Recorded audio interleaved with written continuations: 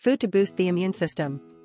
1 red bell pepper. Red bell peppers are a source of vitamin C, and they also contain beta carotene.